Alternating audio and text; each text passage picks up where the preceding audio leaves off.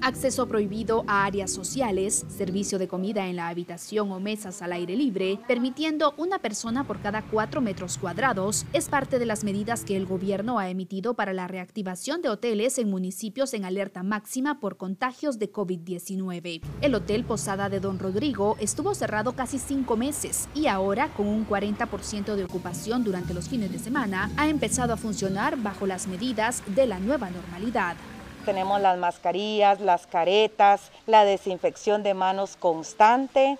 El menú de comida puede ser digital o los clientes pueden pedir un menú desechable. Si hay alguno que desea, también tenemos los menús tradicionales que van pasados por unos humidificadores que hacen la desinfección. La desinfección se ha incrementado en todas las áreas, sobre todo en las habitaciones para que el cliente se sienta seguro. Contamos con equipos de luz ultravioleta, que esto nos da la ventaja de que cada cliente tiene la certeza de antes de entrar a su habitación, su habitación ha sido desinfectada.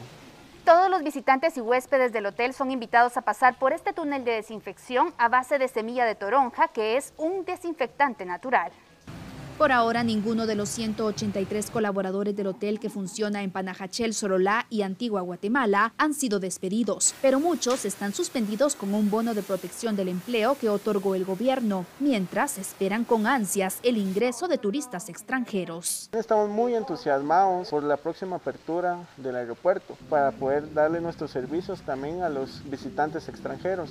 Eugenia Sagastume, Voz de América, Guatemala.